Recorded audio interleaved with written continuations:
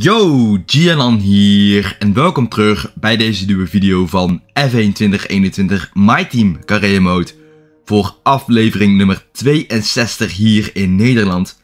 Heb je de vorige video in België gemist, zal ik die eerst even terugkijken voordat je deze dus gaat zien. Het kan rechts het ietsje, klik daarop en natuurlijk die aflevering verschijnen. Ben jij nieuw op mijn kanaal, abonneer je voor meer wekelijkse F1 2021 My Team Carrière Mode content Schakel ook gelijk dat belletje aan, zodat je geen enkele aflevering meer van mij mist. De vorige wedstrijd in België verliep uitstekend. Voor mijzelf. Voor Max wat minder, die werd tiende. En daardoor is het alweer zijn vierde grote prijs op een rij dat hij geen podium pakt. Dus er moet echt meer in zitten in zijn thuiswedstrijd. Zandvoort, een snel circuit, een krap circuit. Ik ben er niet zo goed in, eerlijk gezegd. Kwalificatie is ook regen voorspeld aan het einde. Dat zien jullie. 34 raceoverwinningen, dus we kunnen richting Ayrton Senna, want die heeft er 41. Dan op naar Prost, Vettel, Schumacher en Hamilton. Maar dat is allemaal voor latere seizoenen. Eerst dit seizoen goed afmaken. Ik verwacht hier geen winst. Meer een podiumplek. Ik zou zeggen, laten we lekker doorgaan naar de kwalificatie voor de grootprijs van Nederland. We zijn aanbeland in Zandvoort voor Q1. Lekker zonnig hier op dit moment, dus dat is goed om te zien. Gaan zo meteen kijken wat wij gaan neerzetten in de kwalificatie in Q1. Tarzan bochten nemen we goed. Een klein beetje curves meegenomen, maar dat is geen probleem.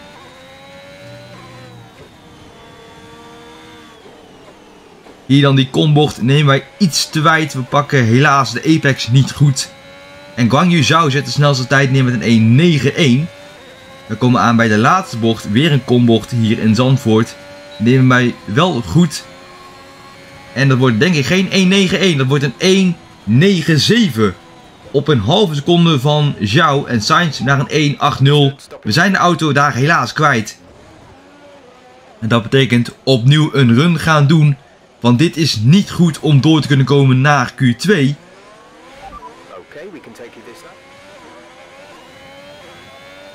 P18 op dit moment. Pijnlijk, pijnlijk, pijnlijk. Ja, wat ik net al zei, Zandvoort is niet mijn beste circuit om op te rijden. Sorry, maar helaas. Dus, we gaan hier met hakken over de sloot, denk ik, door naar Q2. Als dat mogelijk is. Nog ongeveer anderhalve minuut te gaan in de kwalificatie. Naar P18 Verstappen, volgens mij op de eerste plek. We zitten al gelijk in het groen, maar hebben een verse set softbanden op onze auto gezet. Weer rood. Nu weer groen. En zijn maar 14.000 sneller dan onze, voor, dan, ja, dan onze vorige beste tijd. Hebben hier een beetje last van Pierre Gasly. Met nog ongeveer een halve minuut op de klok. DRS geopend. En van P17 naar P11 met paars in sector 3. Komen op 71.000 van Verstappen. Dus Max het ook moeite. Kunnen wij nog een run erachteraan gooien. Hebben hier last van Gasly. Die blokkeert hier ons een klein beetje.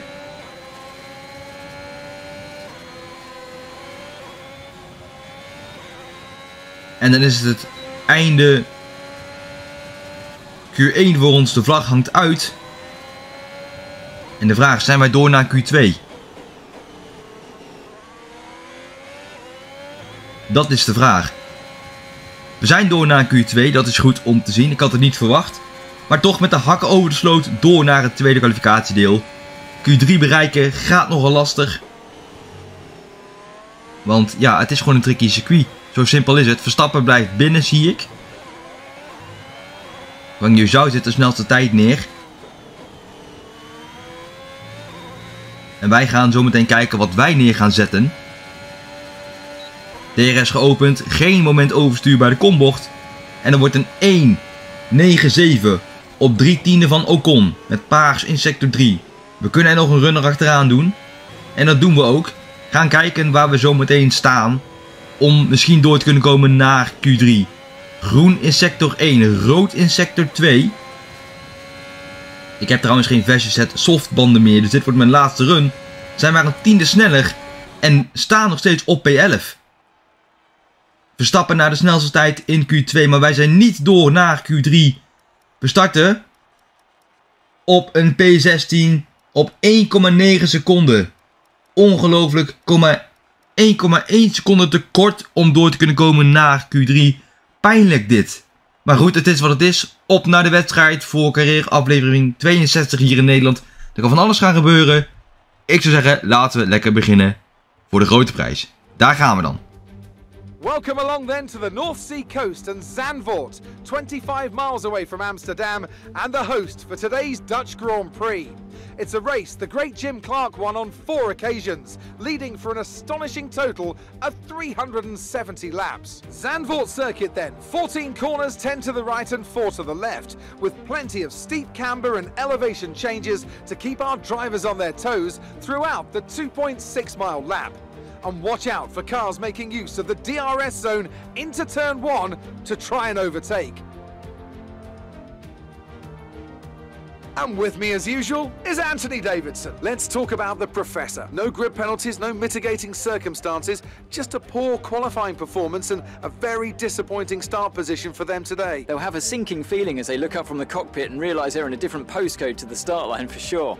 But the one positive they can hold on to is that the car is quick and they can make their way through the field. It's time to see how our drivers are stacking up after yesterday's exciting qualifying session.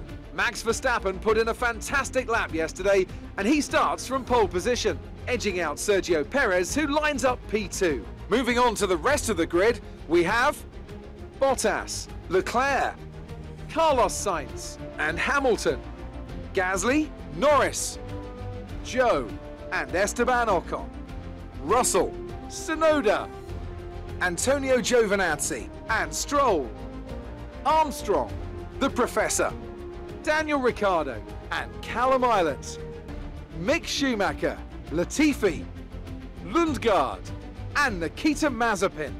That's it then, it's time to go racing as we head to trackside for today's race. Okay, I know it's your home Grand Prix, but treat it like any other race. Don't take unnecessary risks. Neem niet onnodig risico in je thuiswedstrijd, adviseert Jeff. Gaan we zeker niet doen. We moeten wel van ver komen, helaas. Eén stop, medium, hard en nemen extra... Sorry, hard, soft. En we nemen extra fuel mee om hard te kunnen pushen. Daar gaan we dan voor carrière aflevering 62 hier in Nederland. We starten op een P16 op de grid. De lampen zijn uit en we zijn onderweg. En we komen wat beter weg dan Max Armstrong. Zit al gelijk aan die binnenkant. Daar zit ook gelijk Eilert te kijken. En Eilert maakt een divebom. ICE heeft problemen. Het is hier een beetje knijpen met de rijders. Want er is weinig ruimte hier in Zandvoort. Kunnen hier dan drie dik maken? Jazeker. Tussen Eilert en Giovinazzi. En dat is P13. De volgende heet dan Yuki Tsunoda. Voor P12. Maar ik merk hier al gelijk dat we last hebben van onderstuur. We zitten einde ronde nummer 1. Begin ronde nummer 2. Yuki Tsunoda verdedigt die binnenkant. We kijken hier mooi naar de buitenkant. Nemen meer snelheid mee. En dat is P12. Op naar George Russell. Die rijdt 17e voor ons. En het is al een soft compound rijder. Dus we rijden ook op een andere strategie dan de jongens voor ons, want die rijden allemaal op softbanden. We stappen gewoon los. Gereden van, wie is dat? Ik denk Perez, weet ik niet zeker. En wij zitten paars in sector 1, die zijn 7 seconden sneller. Dat is goed om te zien. DRS beschikbaar gesteld in ronde nummer 3. Russell heeft het lastig achter Ocon. De twee Alpines knokken met elkaar. En wij gaan hier misschien van profiteren. Dat is het goede woord. Ja hoor. Russell aan de buitenkant gezien? Jazeker. P11. Op naar Esteban Ocon. Voor de punten. En Ocon zien wij dus bescheiden. Proberen hier dan terug te kruisen, maar raken helaas het gras. En de auto bijna verloren. En maken hier een divebom naar Ocon. En dat is P10. Op naar Guang We maken hier een klein foutje en zijn de auto gewoon kwijt. Veel momenten onderstuur. En Ocon heeft die plek veroverd. Wij worden gewoon op het gras geduwd door George Russell. En dat is P12 helaas. Jammer, jammer, jammer. moeten ons dus zien terug te knokken voor die twee posities. En we kijken dan aan de buitenkant van Russell. Aan de buitenkant, jazeker, dat is P11. Nu weer naar Ocon toe zien te rijden en hem misschien aanvallen. Russell keek daar wel eventjes, maar daar was geen ruimte. En DRS geopend, raken naar de muur, helaas. Gaan hier een dive maken, Ocon verdedigt. Heel veel die binnenkant, we komen van ver. En dat is P10. Goed om te zien. Op naar Zhou dit keer. En de jongens voor mij zijn al naar binnen geweest. En daardoor rijden wij aan de leiding. Dat zeg ik goed. En daar hebben we al een eerste blauwe vlaggen van Nikita Mazepin in ronde nummer 14 van de wedstrijd. Dat gat naar Verstappen is 4,2 seconden. Naar Perez is 8,8 seconden. DRS hierover gezet. En dat is paars in sector 3 en zijn een tiende sneller gegaan. Dat is goed om te zien. Maar we zijn niet veilig met de pitstops. En dat is wel jammer. We zitten in ronde nummer 17 van de wedstrijd. Als we daar Mick Schumacher op een ronde gaan zetten. Jazeker. Schumacher op een ronde gezet. Op naar de volgende. En dat is volgens mij Antonio Giovinazzi? Nee. Nicolas Latifi. Oh, Christian Lundgaard. Excuseer. Christian Lundgaard op een ronde gezet. Dat is goed om te zien. Na Latifi is er nog een groot gat. En na Verstappen is het ongeveer 5,4 seconden. Zetten paars in sector 1 neer. Daar hebben we Latifi gezien, maar die gaat niet makkelijk voor ons aan de kant. Latifi niet makkelijk voor ons opzij. En dat heeft ons wat belangrijke seconden gekost. Jammer. We zetten ook rood in sector 3 neer. Zijn gewoon 17e langzamer. Dankzij Latifi. 5,3 seconden is het gat naar Verstappen. Dat is inmiddels opgelopen tot 6,7 en we gaan naar binnen voor onze laatste pitstop van de dag. Gaan naar de medium banden en ik denk dat Max de wedstrijd binnen heeft. Perez naar P2 dus, Bottas op het podium, Tsunoda naar P4 als wij daar misschien achter komen. Kijken wat deze pitstop wordt. Aan de langzamere kant 3,1 seconden. Oei, oei, oei. Dit is niet goed. Dit is niet wat we willen zien. En komen terug op P4. Raken daar de muur zelfs. En krijgen daar een track limits waarschuwing voor het pit lane incident. Er zijn nog 12 rondes te gaan in de wedstrijd. Kunnen wij naar Valtteri Bottas toezien te rijden en dat podium pakken? Jazeker, want daar hebben wij Valtteri Bottas aan aan de buitenkant gezien in ronde nummer 32. Mooi. Blauwe vlaggen worden gezwaaid voor volgens mij Nikita Mazepin. Maar Bottas zit gelijk terug te kijken bij ons. We gaan hier een bij, beetje wijd. Ik wou zeggen een klein beetje wijd. En we moeten oppassen voor Bottas. Mazepin gaat hier niet makkelijk aan de kant. Maar houdt hiermee wel Valtteri Bottas op. Dat is wel puikenwerk van de Rus. Het gat is nu 1,3 seconden naar Bottas. Naar Perez gaan we denk ik niet meer dicht rijden. Het gat is te groot geworden. Naar Verstappen helemaal 13,6 seconden rijden we niet meer dicht. Maar nog steeds. Tot nu toe het team alle grote prijzen gewonnen. Als het zo eindigt. We zitten in ronde nummer 34. Geel in sector 1. En dat is Charles Leclerc die volgens mij uitvalt. Bottas zit te kijken aan die binnenkant, maar je mag daar niet aanvallen, want het is geel in sector 1. Leclerc stil. Uitgevallen 0 punten voor de Monegask en Ferrari, want ik weet niet waar Carlos Sainz rijdt. Some information on Leclerc. It looks like the problem is terminal. They're retiring the car. Ja, dat zie ik, Jeff. Dat je dat nog niet hebt opgemerkt, maar goed. Het is een ingenieur, hè. Bottas zit te kijken voor P3 voor dat laatste podium hier in Zandvoort wil het feestje gaan verpesten voor ons. Max en ik dus, want wij, het team gaat gewoon voor, dat vind ik. Max moet hier gewoon de wedstrijd gaan winnen. Wij moeten er een dubbel podium van maken en een dubbel Nederlands feestje.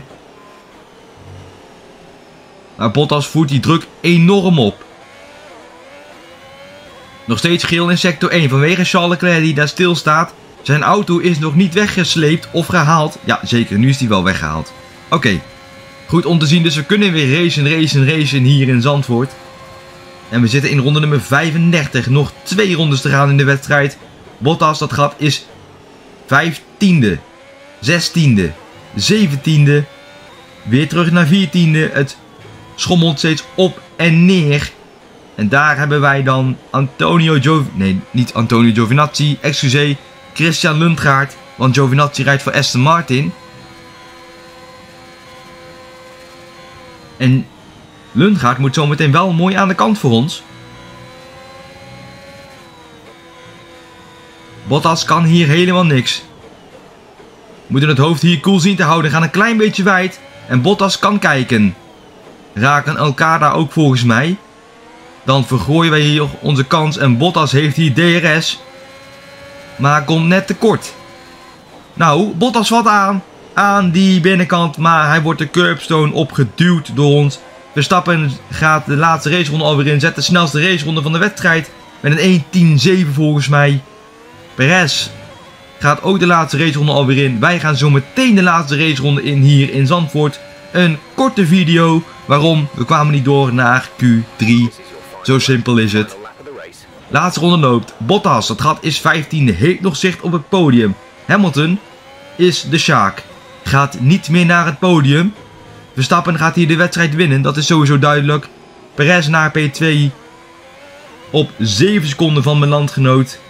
Max is zometeen bij sector 3 aanbeland. Zeg ik dat goed? Dat zeg ik niet goed.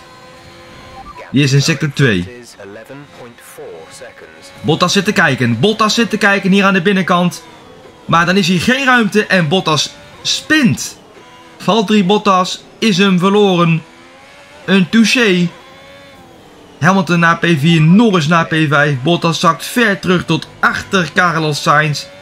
Verstappen gaat hier de wedstrijd winnen in Zandvoort. Het thuispubliek is blij. Wij zijn ook blij. Want Max wint de wedstrijd. Noteert ook de snelste race het punt.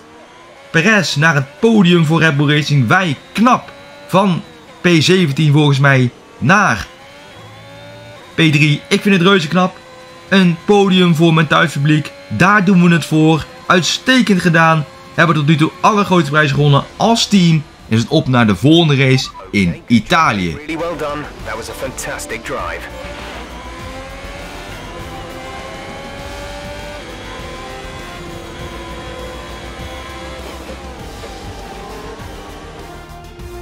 A nearly flawless performance here then, and a commanding victory. Tell me, Ant, how do you think they were able to deliver such an incredible result today? Well, they certainly stood out as a driver with tons of confidence on the track.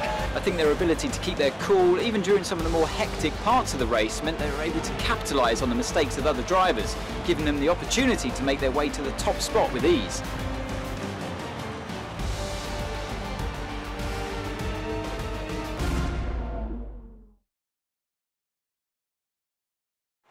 Well, I'm thoroughly exhausted after the excitement of that race, but I'm sure it's nothing compared to our drivers here. They've worked hard to make it up there, and it's great to see them make their way out onto the podium.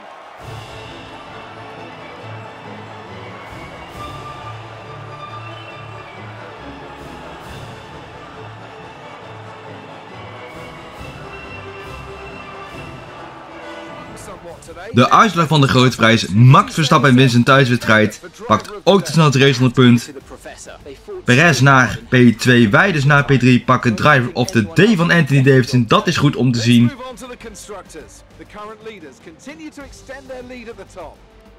En één uitval is Charles Leclerc. Toch nog gekwalificeerd. Sorry, toch nog geclasseerd. 110 punten verschil naar Max. Dus ja, het is gewoon dominant. En 228 punten verschil naar Mercedes. Red Bull klimt ook dichterbij. Rivaliteit hebben we dus gewonnen met Hamilton. Dat is goed om te zien. Het teamacclaim is gewoon lekker veel zoals altijd. Ik ben benieuwd naar het sponsorgeld. Of we alle sponsoren hebben voltooid. 22 dus mezelf en Max. En jazeker 2,99 miljoen dollar erbij door de sponsoren. Helaas heb ik wat schade gereden, dus 10k misgelopen. Maar goed, het is wat het is. In totaal 44,62 miljoen dollar op de bank. Dat is goed om te zien. Ik ga deze video afronden mensen. Ik hoop dat je genoten van deze grote prijs. Heb je genoten, beloon dan zeker met een like. Heb je niet genoten, dislike de video dan. Ben jij nieuw op mijn kanaal? Abonneer je voor meer wekelijkse F1 2021 My Team Career met content. Schakel ook gelijk dat belletje aan, zodat je geen enkele aflevering meer van mij mist. Reageer wat even de kant moet worden op deze video. Volg me even op de sociale media. At Schaven, mijn gebruiksnaam in de beschrijving. En dan zou ik zeggen, dit was journaal mensen. Tot de volgende keer bij F1 2021 My Team Career Mode. Gaan we verder in Italië. Tot ziens.